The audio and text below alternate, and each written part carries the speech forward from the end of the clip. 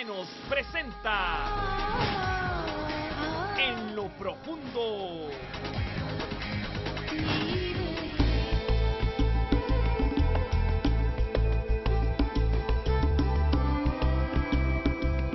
Hoy nuestra mesa de trabajo es nuevamente el Pacífico Guanacasteco. Atravesamos Bahía Culebra para llegar a las Islas Catalinas, al punto conocido como Bajo la Viuda.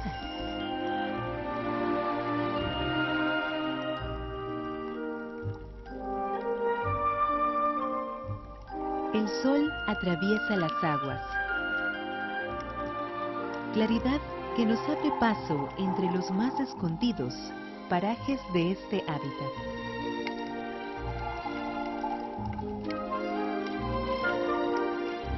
Rápidamente nos damos cuenta que hay una gran cantidad de peces nadando en todas direcciones, como en desorden y no necesariamente en cardúmenes.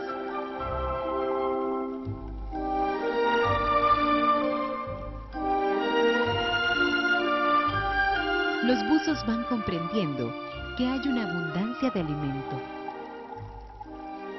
dándose una gran lucha por obtenerlo.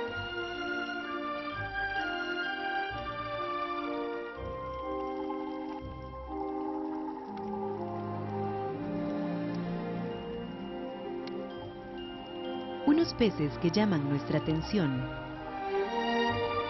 Y mientras avanzamos lentamente, vamos entendiendo un hecho muy interesante.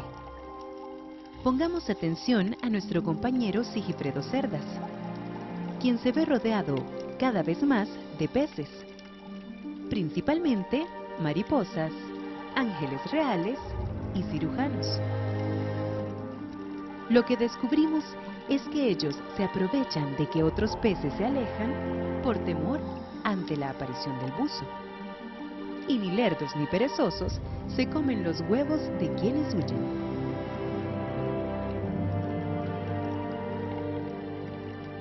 Aún intentando descifrar lo que sucedía a nuestro alrededor, los buzos ven acercarse una sombra.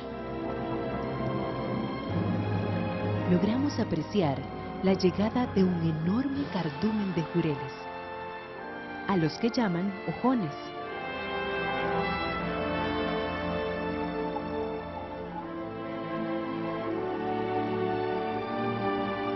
peces que nos sorprenden por su tamaño y velocidad.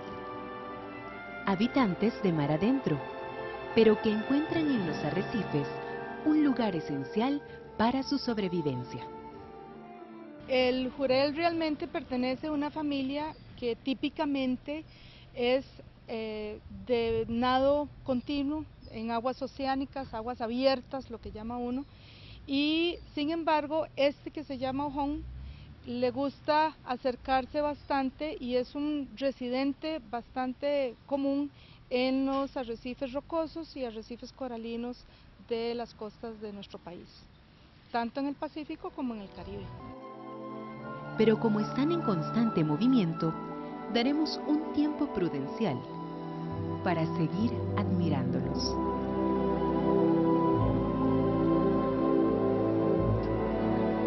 La sed de conocimiento lleva a nuestro equipo a acercarse a las piedras del fondo, donde se esconden distintos habitantes.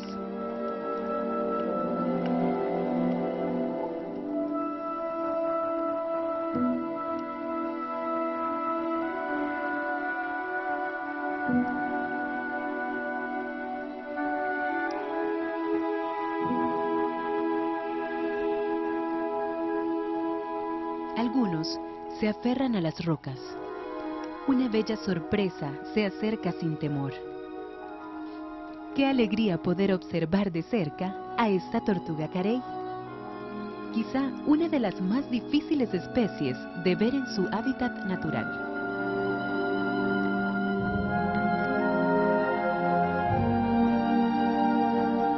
Especie en peligro de extinción, que tiene su cuerpo adaptado para vivir en mar abierto, pero que ocasionalmente se deja ver por estos hábitats, ya que su más importante dieta son esponjas de mar del arrecife.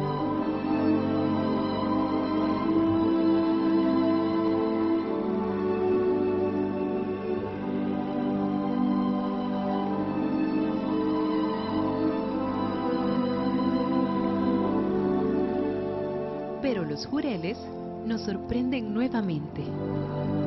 Esta vez dejándonos perplejos ante un fenómeno pocas veces visto. El cardumen se ha detenido en un punto y misteriosamente empezó a nadar en círculos.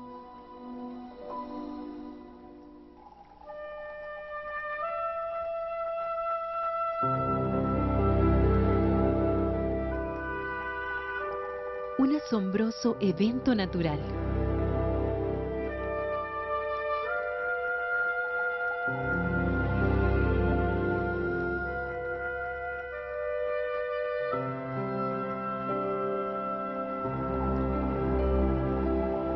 que no solo lo podemos ver cercano a la superficie, sino también en el suelo marino.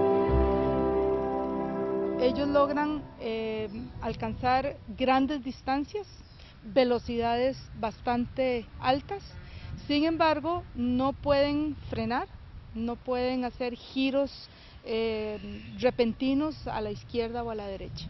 Ellos necesitan estar en constante movimiento y normalmente lo que uno tiende a encontrar es que para lograr mantenerse en un sitio particular sin tener que desplazarse mucho, tienden a formar eh, movimientos o cardúmenes que forman círculos. Y esa es una manera más sencilla para ellos de lograr mantenerse en un área definida. Somos bendecidos por la oportunidad de ser testigos de un evento así, donde los residentes de este reino marino nos siguen contando también su historia, hasta en los lugares menos explorados de las profundidades.